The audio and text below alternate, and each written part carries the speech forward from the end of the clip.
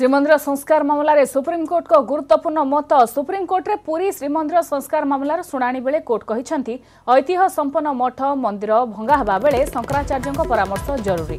କେବଳ ଶଙ୍କରାଚାର୍ଯ୍ୟ ନୁହନ୍ତି ଏ ସମ୍ବନ୍ଧିତ ସବୁ ପକ୍ଷର ପରାମର୍ଶ ଜରୁରୀ। ତାଛଡ଼ା ବର୍ତ୍ତମାନ ସୁଦ୍ଧା ହୋଇଥିବା ଉଚ୍ଛେଦର ଷ୍ଟାଟସ୍ ରିପୋର୍ଟ ମାଗିଛନ୍ତି ସୁପ୍ରିମକୋର୍ଟ। ଆଜି ଶୁଣାଣି ଆରମ୍ଭରେ ସୁପ୍ରିମକୋର୍ଟରେ ରିପୋର୍ଟ ଦାଖଲ କରିଥିଲେ ଆମିକସ୍ କ୍ୟୁରି। ଅକ୍ଟୋବର ବାଇଶରେ ହେବ ମାମଲାର ପରବର୍ତ୍ତୀ ଶୁଣାଣି।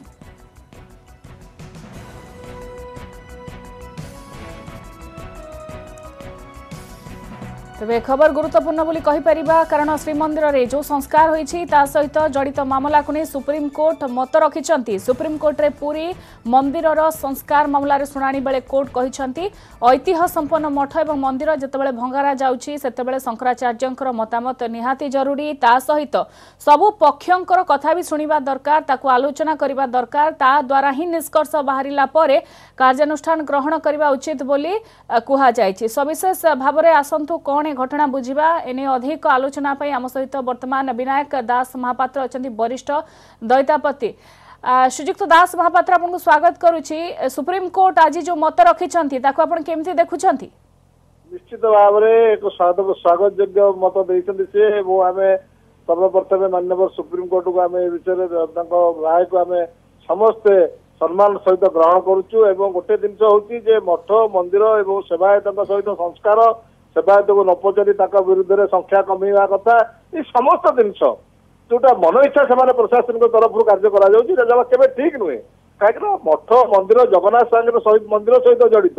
ଏ ସମସ୍ତ ବିଷୟରେ ମାନ- ପ- ଜଗତଗୁରୁ ଶଙ୍କରାଚାର୍ଯ୍ୟଙ୍କ ସହିତ ପରାମର୍ଶର ଆବଶ୍ୟକତା ରହିଛି ଗଜପତିଙ୍କ ସହିତ ଆବଶ୍ୟକତା ରହିଛି ସମସ୍ତ ବରିଷ୍ଠ ସେବାୟତଙ୍କ ସହିତ ଆଲୋଚନା ରହିଛି। କୌଣସି ବିଷୟ ଖାଲି ଜଣେ ଦି ଜଣଙ୍କ ସହିତ ଆଲୋଚନା କରିକିରି ସେବାୟତକୁ ସମ୍ପୂର୍ଣ୍ଣ ଭାବରେ ଏଥିରେ ତା ଭିତରେ ତାଙ୍କୁ ସେ ରଖୁନାହାନ୍ତି କି ତାଙ୍କର କୌଣସି ମତାମତକୁ ବି ଗ୍ରହଣ କରୁନାହାନ୍ତି। ଆଜି ମାନ୍ୟବର ସୁପ୍ରିମକୋର୍ଟ ସେଇଟା ଉପଲବ୍ଧି କରିଛି। କାହିଁକି ନା ଆମେ ମାନ୍ୟବର ସୁପ୍ରିମକୋର୍ଟ ପାଖରେ ବାରମ୍ବାର ଯାଇକରି ଆମେ ଏ ବିଷୟରେ ଜଣେଇଛୁ ଯେ ସମସ୍ତ ଅନ୍ଧାର ଭିତରେ ସେବାୟତକୁ ରଖିଛନ୍ତି। ଯେଉଁ ସେବାୟତ ମାନେ ଜଗନ୍ନାଥ ମହାପ୍ରଭୁଙ୍କର ଦିନ ରାତି ଧରି ମହାପ୍ରଭୁଙ୍କ ସେବାରେ ଅଛନ୍ତି। ସମସ୍ତ ନୀତି ବି ଶୃଙ୍ଖଳିତ ଚାଲିଛି। କାଁ ଭା କେତେ ଜଣ ବିଶୃଙ୍ଖଳିତ ସେବାୟତ ବୋଲି କଣ ସମସ୍ତେ ଦଣ୍ଡିତ ହେବେ? ବର୍ତ୍ତମାନ ବିଶେଷ ଭାବରେ ଆପଣ କୋଉ ଦଣ୍ଡ କଥା କହୁଛନ୍ତି କୋଉ ପ୍ରସଙ୍ଗରେ କହୁଛନ୍ତି? ନାଇଁ ମୁଁ ପ୍ରସଙ୍ଗରେ କହୁଛି ଯାହା ବି ମଠ ମନ୍ଦିର ଭଙ୍ଗା ହଉଛି ସେବାୟତଙ୍କ ଉପରେ ଯୋଉ ପ୍ରକାର ସବୁ ବ୍ୟବସ୍ଥା ସୁପ୍ରିମକୋର୍ଟରେ ଏମାନେ ସଂସ୍କାର ପାଇଁ ଦେଇଛନ୍ତି ସମସ୍ତ ଜିନିଷ ଉଭୟଙ୍କ ସହିତ ଆଲୋଚନା କରିକି ସହମତି ଭିତରେ ଯେମିତି ଭକ୍ତଙ୍କର ଉନ୍ନତି ଭଲ କାମକୁ ଭକ୍ତମାନେ ଭଲରେ ଦର୍ଶନ କରିବେ ମଠ ମନ୍ଦିର ଯେମିତି ସୁରକ୍ଷିତ ରହିବ ଜଗନ୍ନାଥଙ୍କ ନୀତି ଯେମିତି ସମ୍ପୂର୍ଣ୍ଣ ଠିକ ଭାବରେ ହେବ ଏ ସମ୍ପୂର୍ଣ୍ଣ ସମସ୍ତଙ୍କ ସହମତିରେ ହେଲେ ସବୁଠୁ ଭଲ ହବ। ଆପଣ ଆଶାବାଦୀ ଅଛନ୍ତି ବର୍ତ୍ତମାନ ପରିପ୍ରେକ୍ଷୀରେ ଯେ ଆଗକୁ ଗୋଟେ ଆଲୋଚନା ହେଇକିରି ଗୋଟେ ସୁସ୍ଥ ବାତାବରଣ ଗୋଟେ ନିଷ୍କର୍ଷ ବାହାରି ପାରିବ? ନିଶ୍ଚିତ ଭାବରେ ନିଶ୍ଚିତ ଭାବରେ। ମହାପ୍ରଭୁଙ୍କର ସମସ୍ତ ଯାନି ଯାତ୍ରା ଏଇନେ ରଥଯାତ୍ରା ଆପଣ ଦେଖିଲେ କେଡ଼େ ସୁନ୍ଦର ଭାବରେ ହେଲା। ସମସ୍ତ ଯାତ୍ରା ମହାପ୍ରଭୁଙ୍କର ସମସ୍ତ ନୀତିକାନ୍ତି ଠିକ ଭାବରେ ସବୁ ଚାଲିଛି।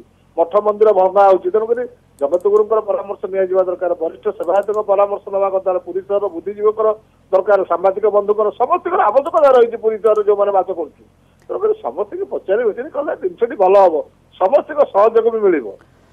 ତେବେ ସଂସ୍କାରରେ ସମସ୍ତଙ୍କର ଆଲୋଚନା ସମସ୍ତଙ୍କର ମତାମତ ଜରୁରୀ ଏଭଳିଆ ମତ ଆଜି ରଖିଛନ୍ତି ସୁପ୍ରିମକୋର୍ଟ ଅ, ସୂଚନା ପାଇଁ ଆପଣଙ୍କର ପ୍ରତିକ୍ରିୟା ପାଇଁ ଧନ୍ୟବାଦ ଶ୍ରୀଯୁକ୍ତ ଦାସ ମହାପାତ୍ର ଆମ ସହିତ ଥିଲେ ବିନାୟକ ଦାସ ମହାପାତ୍ର ଅ, ବରିଷ୍ଠ ଦୈତାପତି ଯିଏକି ନିଜର ମତାମତ ରଖୁଥିଲେ ସୁପ୍ରିମକୋର୍ଟରେ ଆଜି ଶୁଣାଣି ପରେ।